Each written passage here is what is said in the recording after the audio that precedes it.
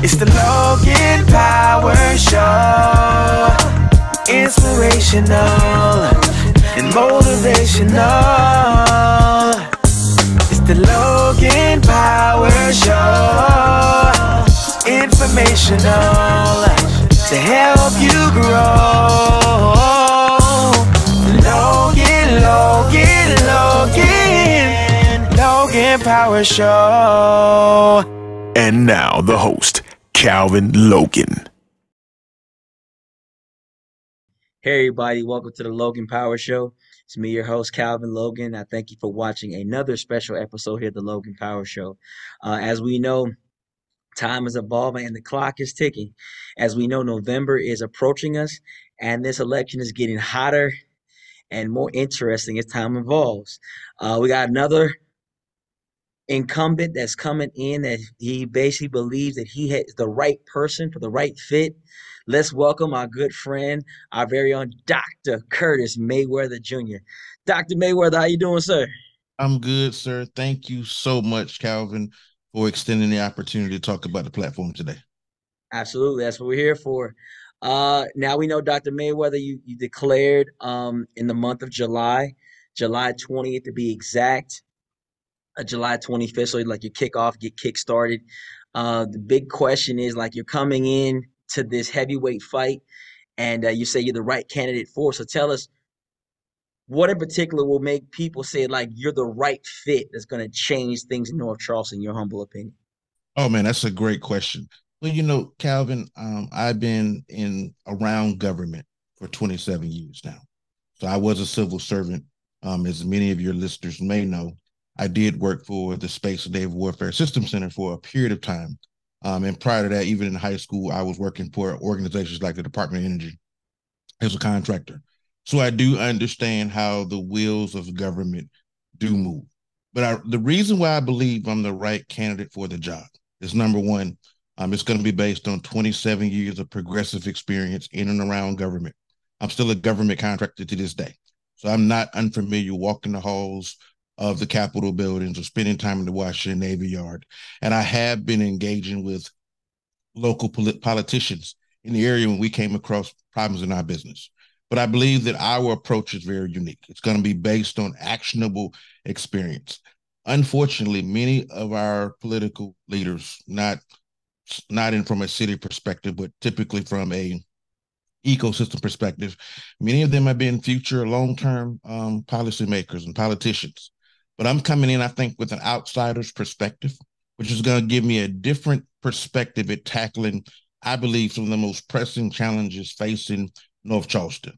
Um, as you know, as you mentioned earlier, I do have a PhD. Um, so I have a I have a master's in project management. And a, a, a big part of the role of mayor is to be able to manage multiple projects at the same time. So having that background in project and program management, I believe is going to be key. And and even further, I also have a PhD in management, and I'm actually a non-profit management scholar through Case Western Reserve University. So not only are we going to be to look at problems and how it actually impacts the citizens, we can also be able to look at to look at from a research-based perspective. So we can look at what has actually been done in other cities and use that as a model to build upon to solve the unique challenges of North Charleston. Great perspective. Uh, to capitalize on just piggyback off some of the questions, we know that in North Charleston, in the next four or five years, this is a shift and a move. What you mean? What I mean by that is we know that with the expansion of Boeing, uh, North Charleston Air Force Base, uh, with Walmart uh, building that big three million dollar square foot infrastructure that's close nearby, uh, with the acquisition of Top Golf, uh, plus the Mercedes, and then also T-Mobile building their call center on Rivers Avenue, which did uh, fell through around 2018, 2019. Um, the the responsibility of North Charleston as a whole is that the profitability is there. Um, and it's very, very vast and very gross. Um, with the way the infrastructure is going, where things are going, it seems that when you think about Charleston, Summerville, Moncks Corner, North, North Charleston, sort of smack dab in the middle, since we do have the uh, airport right there as well. What are like, I guess, if if day one, given your first encounter as mayor, you mentioned that you're sort of a person that sort of is not afraid to bump heads with political leaders or get involved in things that's going in Capitol Hill. What would one, one initiative you would want to see accomplished uh, as given the opportunity first term as mayor, in your humble opinion? Okay, awesome. Well, you know, the first role that we have to do before we tackle any of the community projects, which I recognize is of extreme importance, but the very first thing I'm going to do is get to know my current team. I need to make sure that I understand the team and we lay out a vision and mission that's very clear that my team can get around. So that's number one. So we have to make sure that we understand who's in the seats and understand that they understand what our new direction is going forward. Once that's in, once we once we are now starting to do a, a north south nod acro- across the team and bouncing ideas off each other that we can all get behind. So my job is going to be to organize, delegate, follow up, and support. But in that, there are five primary things that I would like to see happen in my first term as mayor. Number one is going to be economic development. Now, economic development is both large business and small business. It's going to be a short and a long game here. It's going to be some things we're going to be able to do on the outset very quickly, and it's going to be some things that, quite frankly, are going to take time. But from an but from an economic development perspective, I want to a create and cultivate. Now, by no means am I saying the government as mayor, am I saying the government is going to do this? I'm not saying that. What I am saying is we want to create an environment where entrepreneurship can thrive. So I want to facilitate an environment where incubators and accelerators and venture capital and private equity is available to entrepreneurs in North Charleston. That's number one. So we have to create an ecosystem that supports that. Number two, we got to make sure that we really define our value proposition as a city so we can attract in larger um, jobs, bigger employees. We know that jobs is the lifeblood of any city. So I plan to put on my corporate uh my capture management, my business development hat, and deploy our team to attract more businesses to North Charleston so we can create additional jobs and revenue opportunities, both from an employment base and from a subcontracting base for my employers in North Charleston. So that's that's of paramount importance to me.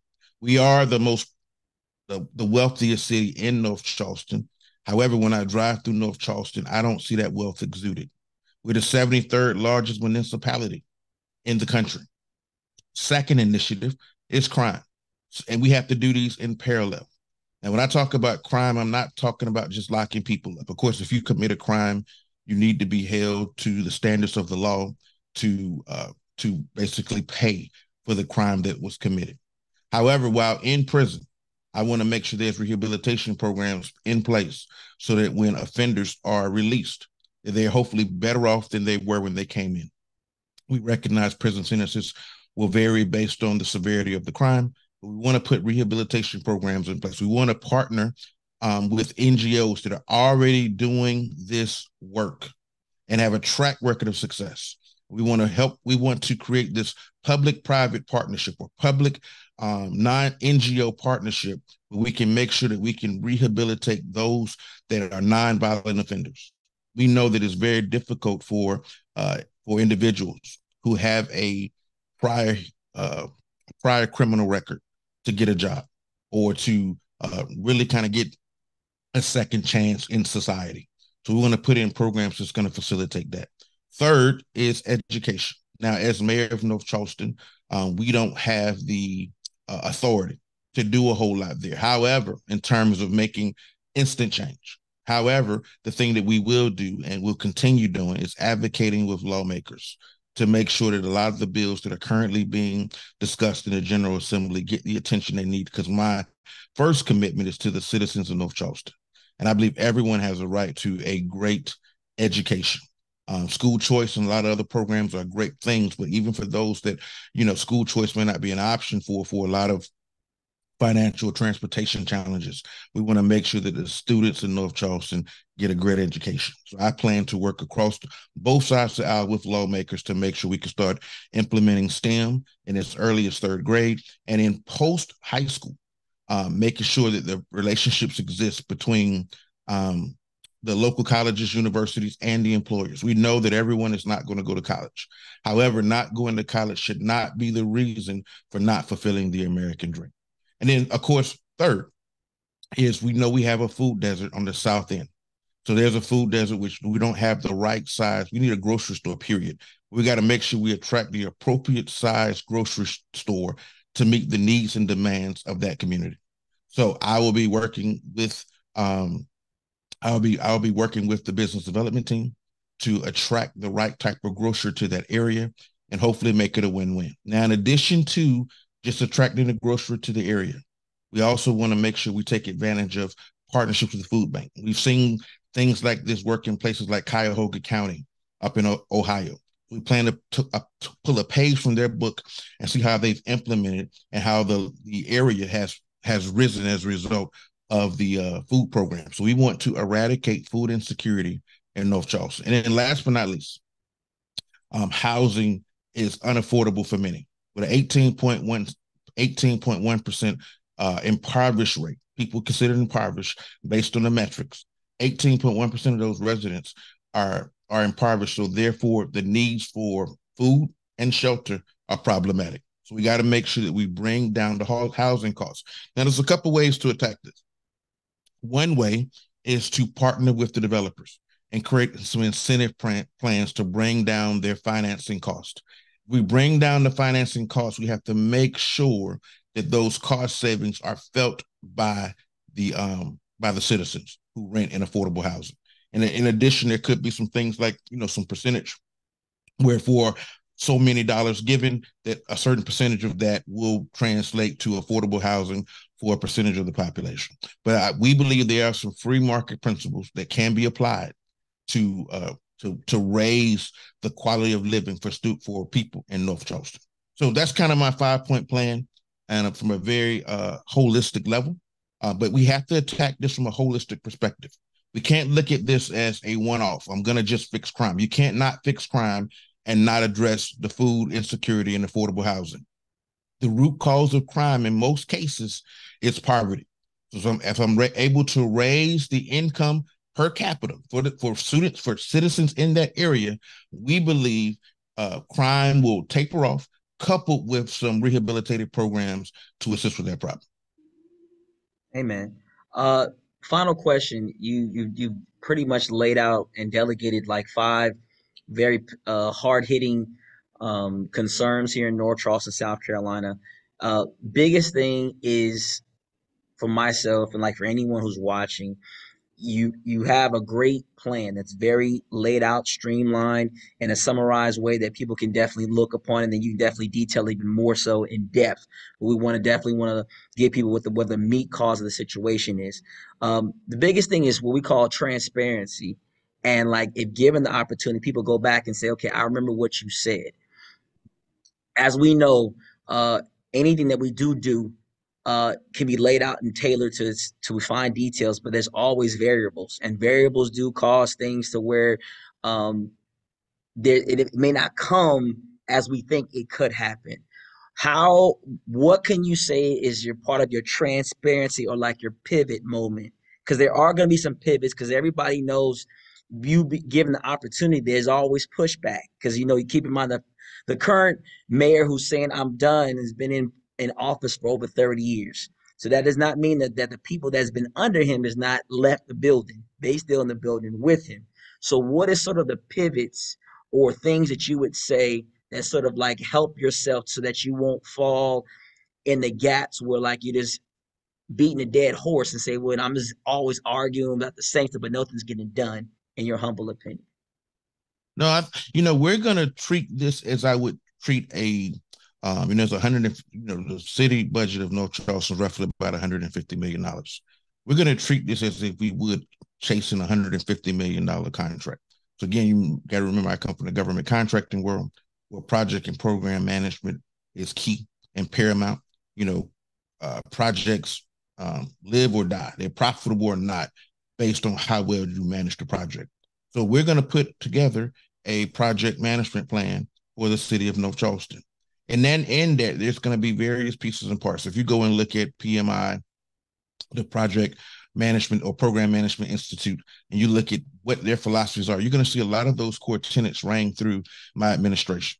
So we're going to have a plan which the citizens of north charleston will be able to look against and that's part of my commitment to transparency. Um, as, as today you can go and actually see the audits done by the city. Um, one of the great councilmen is responsible for that. I've had conversation with them already and we're going to continue a lot of those initiatives that were started um, but once I have a better understanding of the P of the P and L for the city. Now, I say once I have a better understanding because you know I'm right now I'm looking as an outsider. I'm not in the seat. And of course, we we all as politicians get out here and say we're going to do this and we're going to do that. But there are known knowns and there are known and there are unknown unknowns. So I don't know what I don't know yet.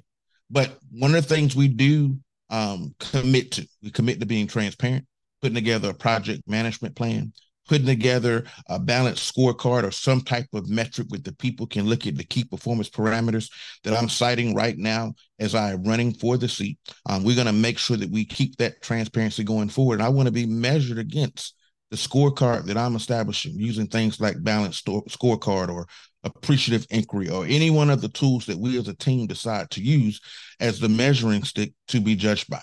Um, you're going to see uh, both schedule information from us. You're going to see costing information from us.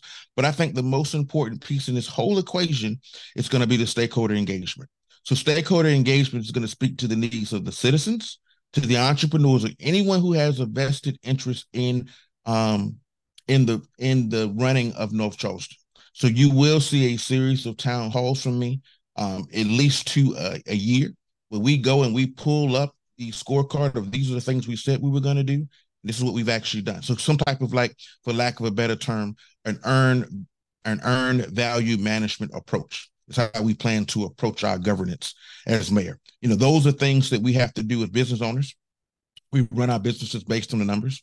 I'm going to run uh, North Charleston based on the numbers. And the biggest thing, and so, you know, when I kind of started off my, my talk and I talked about the importance of economic development, that's very important because as we raise the uh, tax base organically, I am not in favor of raising taxes in North Charleston, but if we're able to raise the tax base by a attracting bigger, larger employers that's going to bring jobs to the area, and b by uh, by fueling the entrepreneurial spirit organically in North Charleston, taxes will will tax revenue will increase. That tax revenue is going to allow us to pour back into some of the other areas um, that are not as capitally intensive, but are just as just as important, like affordable housing, like food insecurity, and even in some cases, education. So we plan to run it in a transparent manner using a lot of best of breed tools that many of our business leaders use today. Uh, I believe it's time for the city to be held to the same standards that we hold our business leaders to. So I don't want to run in dark. I want to be very open, and I want the I want the citizens to be engaged in helping me to build a brighter future for North Charleston. All right. Well, you heard it first live at the Logan Power Show. Our very own Dr. Curtis Merriweather Jr. giving it out a tailor-made, laid, detailed uh, initiative of what he would do here if he was given the opportunity to be mayor of North Charleston, South Carolina. You've heard it first here, the Logan Power Show. Uh, what he brings to the table so again, this is a big um, task that is given to you as citizens to make the right choice of who you feel is the right person. Hey, again, I, we pray this interview not only did it bless you, you learning, but also gives you an opportunity to say, you know, now I got to put that under under uh, subjection and sit figure out if he's the right person for you. So I tell you this right now, let's stay positive. Let's keep the Lord first and to God be the glory. That's all the time I got. My name is Calvin Logan Power Show Nationwide, Worldwide. We love you and we see you soon. It's the Logan Power Show. Inspirational and motivational. It's the Logan Power Show. Informational to help you grow. Logan, Logan, Logan Logan Power Show.